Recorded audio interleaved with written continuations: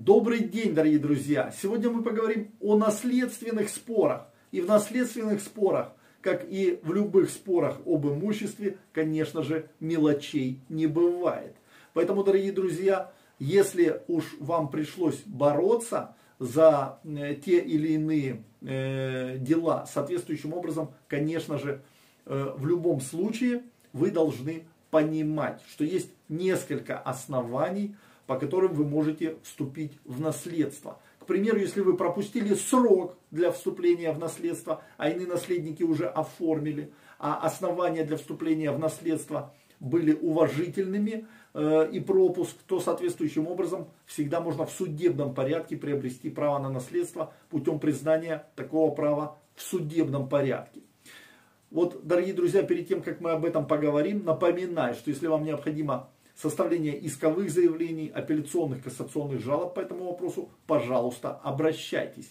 Итак, дорогие друзья, очень часто бывает, что лица по тем или иным основаниям, которые стали наследниками, либо э, в силу э, загруженности, либо в силу того, что им было неизвестно о факте смерти э, наследодателя, либо по иным причинам, вследствие проживания за границей, либо отсутствия по постоянному месту жительства, по тем или иным причинам, они не попадают в число наследников, которые вовремя подали документы о вступлении в наследство. Либо документы были поданы э, с такими недостатками, которые делают невозможным выдачу свидетельства о праве на наследство.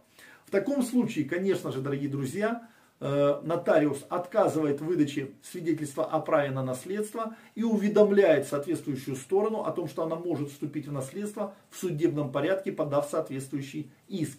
Кто будет ответчиком по такому иску? Верховный суд нам разъясняет, что в таких случаях у нас ответчиками по иску будут те лица, которые уже оформили соответствующим образом право на наследство, получив свидетельство о праве на наследство в установленном законом порядке.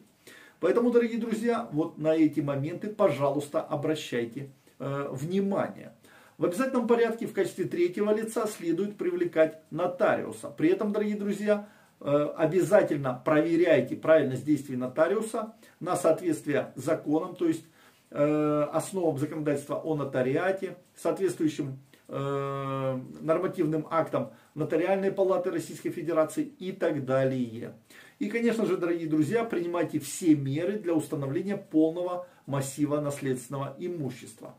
Если э, приходится идти в апелляцию или в кассацию и составлять апелляционную или кассационную жалобу по этим вопросам, всегда обращайте внимание на несколько элементов.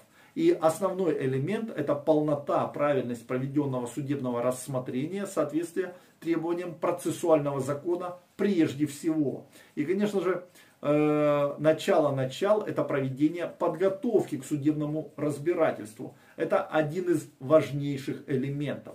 И вот уже на стадии подготовки дела к судебному разбирательству смотрите, чтобы подготовка была в полном соответствии с законом и с позициями высших судебных инстанций, поскольку по этим вопросам отдельный пленум. Конечно же, необходимо обращать внимание на полноту исследования и оценку доказательств по делу, которые свидетельствуют о вашей правоте. Если этого сделано не было, то соответствующим образом это уже основание для внесения либо апелляционной, либо кассационной жалобы. И, конечно же, дорогие друзья, смотрите на законность и правильность позиции тех наследников, которые уже вступили в права наследования. Вот это, дорогие друзья, те основные моменты, на которые следует обращать внимание. Если вы видите ущербность в них, либо неправильное установление фактических обстоятельств дела со стороны суда при решении данного вопроса, конечно же, это тоже основание для апелляционного или кассационного рассмотрения.